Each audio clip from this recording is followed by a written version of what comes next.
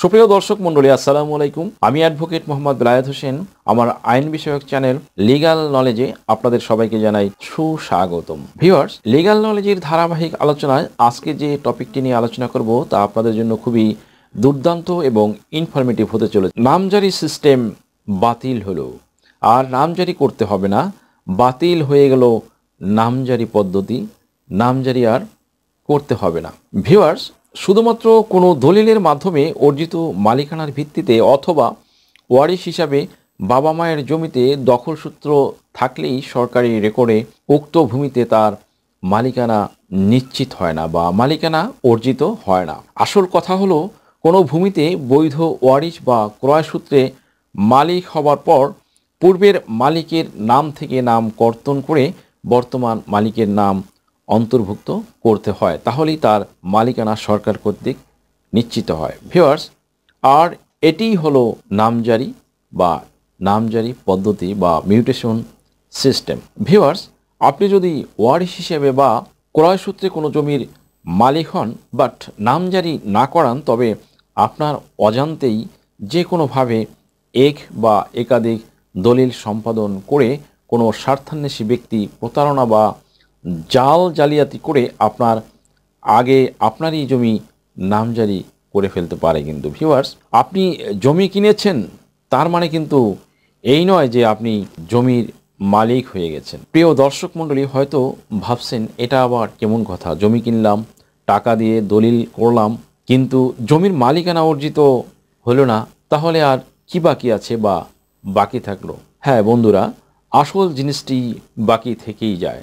যার নাম কেহ বলে নামজারি, কেহ বলে খারিজ, কেহ বলে মিউটেশন এই মিউটেশন যতক্ষণ পর্যন্ত নিজের নামে না করাবেন, ততক্ষণ জমি পূর্বের মালিক দ্যাট মিন্স যার নামে পূর্বে নামজারি ছিল, তার নামেই থেকে যাবে, ফলে তিনি আপনার ক্রয়কৃত সম্পত্তিটি অন্যত্র বিক্রয় করে দিলে আপনার কিন্তু বন্ধুরা কিছুই করার থাকবে না। হা হুতাশ করা ছাড়া। সো বুঝতেই পারছেন, যার ফলে আপনি পরবর্তীতে নাম জারি করতে গেলে স্বাভাবিকভাবেই সমস্যায় পড়বেন। বাস্তব ক্ষেত্রে জটিলতা আরও বাড়তে দেখা গেছে। যখন উক্ত স্বার্থান্বেষী ব্যক্তি অপর এক বা একাধিক ব্যক্তির কাছে ওই জমি ইতিমধ্যে বিক্রয় করে ফেলেছেন, এসব ক্ষেত্রে জালিয়াতি, প্রতারণা, দুর্নীতি হবার সুযোগ বহুগুণে বৃদ্ধি পায়। সমস্যাও বাড়ে, যেমন নানা রকম মামলা মোকদ্দমার সৃষ্টি হয়ে থাকে, যা দীর্ঘদিন যাবৎ অর্থ, সময় ও মানুষে মানুষের সম্পর্কের অবনতিই ঘটায়। সাধারণভাবে আমরা অনেকেই মনে করি, দলিল সম্পাদন হলেই বুঝি কাজ শেষ হয়ে গেল। নামজারির আর দরকার কি? এটি অত্যন্ত আমাদের একটি ভুল ধারণা। দলিল সম্পাদনের মাধ্যমে শুধুমাত্র মালিকানাই হস্তান্তর হয়, সরকারের খাতায় মালিক হিসেবে স্বীকৃতি পাওয়া যায় না। সুপ্রিয় দর্শক মণ্ডলী, এক সময় অনেক কাগজপত্র, নকশা, পর্চা, রেকর্ড, খতিয়ান, বায়াদলিল একত্রিত করে আমরা ভূমি, অনেক কাঠখড় পুড়িয়ে নামজারি করাতাম।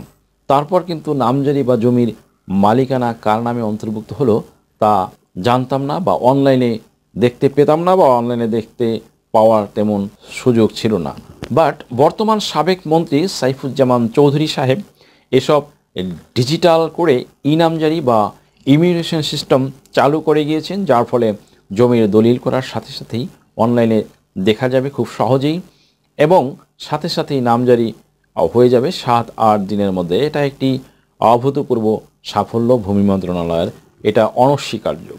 এটা হবে স্বয়ংক্রিয় পদ্ধতিতে অটোমেটিকভাবে আপনাকে করতে হবে না।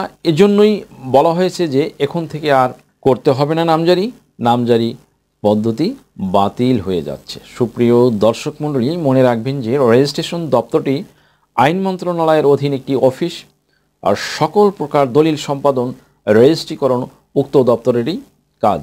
দলিল রেজিস্ট্রিকরণের ক্ষেত্রে এখনও পর্যন্ত যিনি বিক্রেতা, তিনি আদৌ উক্ত জমির মালিক হিসেবে সরকারের রেকর্ডে অন্তর্ভুক্ত আছেন কিনা, তার কোনো রেকর্ড জেলা রেজিস্ট্রার বা সাব রেজিস্ট্রার দপ্তরে নেই, যার ফলে ভুলবশত একই জমির এক বা একাধিক দলিলের মাধ্যমে বিক্রয়ের ঘটনাও আমাদের বাংলাদেশের প্রেক্ষাপটে ঘটে থাকে। সুপ্রিয় দর্শক, মূল কথাগুলো এবার একটু খেয়াল করে দেখলেই বা শুনলেই বুঝতে পারবেন যে ভূমি অফিসগুলো ভূমি মন্ত্রণালয়ের অধীন, যার কাছে সরকারের কাছে রেকর্ডভুক্ত মালিকদের নাম, পূর্ববর্তী নামজারিকৃত মালিকদের নাম নথিসহ বিস্তর তথ্য কিন্তু থাকে। ফলে একবার নামজারি করাতে সক্ষম হলে একই জমির একাধিক ভার বিক্রয় হলেও মূল মালিকের আর ক্ষতিগ্রস্ত বা হয়রানি হওয়ার সম্ভাবনা কম থাকে। এখন ভূমি অফিসে নামজারি করাতে অনেক দুর্নীতি হয় বিদায় এই সিস্টেম বাতিল করে অটোমেটিক সিস্টেম চালু হয়েছে, যার নাম দেওয়া হয়েছে স্মার্ট মিউটেশন বা স্মার্ট নামজারি সুপ্রিয় দর্শক মণ্ডলী, আপনারা জানেন যে সাব রেজিস্ট্রি অফিস মূলত আইন মন্ত্রণালয়ের অধীন। এখানেই জমির দলিল হয়ে থাকে এবং ভূমি অফিসগুলো ভূমি মন্ত্রণালয়ের অধীন। তাই নামজারি ভূমি অফিসেই হয়ে থাকে। বাট এই দুই মন্ত্রণালয়ের মাঝে আন্তঃসংযোগ বা লিঙ্ক আপ ছিল না একসময়, ফলে নামজারি করতে অনেক সময় লাগতো। এখন তা দূরীভূত হয়ে এখন অনলাইনে এবং আন্তঃসংযোগ অত্যাধিক পরিমাণে বৃদ্ধি পেয়েছে। ফলে সাব রেজিস্ট্রি অফিসে জমির দলিল হবার পর পর ভূমি অফিসে গিয়ে নামজারি করতে অনেক সময় এবং ঝামেলা পোহাতে হতো। দুর্নীতি, জাল জালিয়াতি, প্রতারণা, টাকা ও সময় নষ্ট হতো। একজনের জমি অন্যে বিক্রি করে ফেলতে পারতো। এখন কিন্তু তার সম্ভব নয়। এই দুই মন্ত্রণালয়ের মাধ্যমে আন্তঃসংযোগ তথা কমিউনিকেশন অভূতপূর্বভাবে ডেভেলপ হওয়াতে জমি বিক্রির সাথে সাথে অটোমেটিক নামজারি হয়ে যাবে। ফলে সাথে সাথে অনলাইনে নিজের নামে নামজারি মালিকানা দেখতে পাবেন। ভূমি মালিকদের স্মার্ট কার্ড দেওয়ায় জমি বিক্রির সাথে সাথেই কিন্তু স্ব স্ব দ্যাট মিন্স নিজের নিজের কার্ড থেকে ক্রেডিট কার্ডের মতো জমির পরিমাণ কমে আসবে এবং একইভাবে অ্যাজ ওয়েল অ্যাজ ক্রেতার কার্ডেও জমির পরিমাণ অটোমেটিক বৃদ্ধি পেয়ে যাবে। তেমনি নামজারিও হয়ে যাবে স্বয়ংক্রিয়ভাবে অটোমেটিক আপনাকে আর দৌড়ঝাঁপ করে নামজারি করিয়ে নিতে হবে না। কারও কাছে ধর্ণা দিতে হবে না। কোনো দালালের শরণাপন্ন হতে হবে না। কোনো দালাল দিয়ে প্রতারিত হতে হবে না। আর জমি ক্রয় বিক্রয় বা অন্য কোনো দুর্নীতি আর কিন্তু সম্ভব নয় বন্ধুরা। সব অনলাইনে ধরা পড়ে যাবে। জমির দলিল, জাল হলে বা জমির অবস্থান, প্রকৃতি মৌজা, নকশা, দাগ, খতিয়ান, চৌহদ্দি সহ প্রয়োজনীয় সবই জানা যাবে অনলাইনে। তবে পৃথিবীর সব প্রান্ত থেকে এই অনলাইনে আপনার জমির অবস্থান, জমির পরিমাণ, জমির দাগ, খতিয়ান, মৌজা দ্যাট মিন্স এভরিথিং আপনি এই অনলাইনে পৃথিবীর যে কোনো প্রান্ত থেকে লগ ইন করে দেখতে পাবেন। তবে আগে যেমন নামজারি করতে হলে এগারোশো সত্তর টাকা খরচ হতো, এখন জমি রেজিস্ট্রি করার সময় নির্ধারিত ফি এর সাথে একটু বাড়তি দিলেই হয়ে যাবে নামজারি পৃথিবীর যে কোনো প্রান্ত থেকে দেখতে পাবেন। সাবেক ভূমিমন্ত্রী জনাব সাইফুজ্জামান চৌধুরীর দেখানো পথেই কিন্তু নতুন যে ভূমিমন্ত্রী নারায়ণচন্দ্র চন্দ্র মহোদয় হাঁটছেন এবং তিনি বলছেন, আমি নিজে পরিচ্ছন্ন, স্বচ্ছ এবং সবসময় পরিচ্ছন্ন বা স্বচ্ছই থাকতে চাই।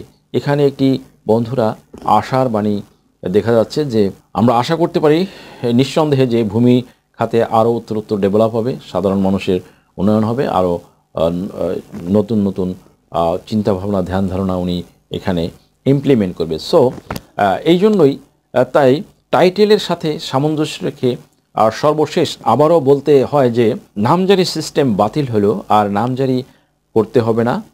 বাতিল হয়ে গেল নামজারি পদ্ধতি, নামজারি করতে হবে না, এবং এটা অযৌক্তিক বলা হবে না। নিঃসন্দেহে শতভাগ সঠিক এবং ফলপ্রসূ একটি সিদ্ধান্ত।